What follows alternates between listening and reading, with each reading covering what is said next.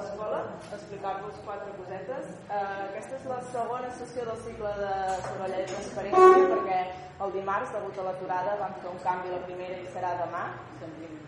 Si algú no ha pogut veure, bueno, no ha pogut venir, hi ha algunes persones que ens han demanat canvi, perquè demà doncs, no ho tenien agendat.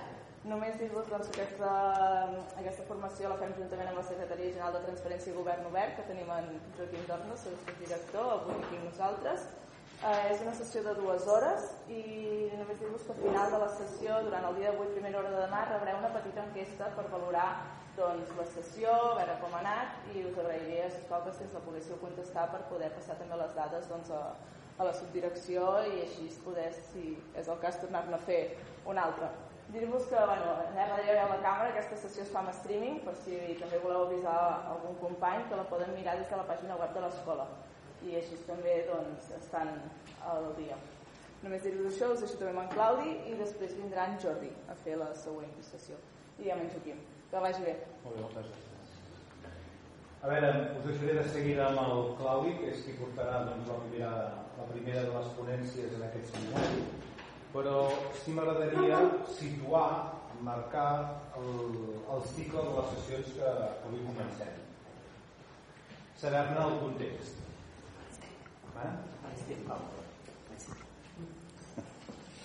Situar-nos en, el, en el context. El, el context que portem és, tenim ja dos anys d'estar de, de, executant, d'estar en plena vigència, la llei de, de transparència, eh, accés a la informació pública i bon govern.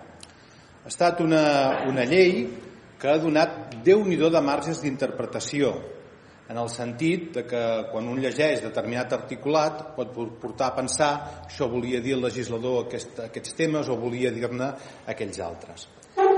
Al llarg d'aquests dos anys s'han anat aclarint moltes coses. D'entrada, perquè la llei s'ha complert, és a dir, la publicitat activa a la qual resten obligades les administracions públiques doncs podem dir que s'està duent a terme. La Generalitat, en aquest sentit, penso que té un alt nivell de eh, qualitat. Així és com ens ho valoren doncs, organismes com Transparència Internacional, dintre o el mateix síndic de greuges. També, en aquest sentit, les administracions locals grans estan funcionant molt bé i tenim algun que altre entrebanc a les administracions locals petites, bàsicament per falta de, de musculatura per fer tot el que li exigeix la llei. Al llarg doncs, d'aquests doncs, dos anys hem fet, hem tirat endavant les obligacions legislatives i hem après moltes coses. Hem après moltes coses en base, per un costat, el que la GAIP, és a dir, el que seria el, la Comissió de Garantia de, del Dret d'Accés a la Informació Pública, ens ha anat indicant amb els seus dictàmens i les seves resolucions. Hem après molt a través de que el, allò que el propi govern ha, ha, ha exigit o ha intuït o ha instruït a base dels criteris en la Comissió Interdepartamental de Transparència i Govern Obert, els criteris que ara diem CITGO, i, evidentment, de la pròpia praxis.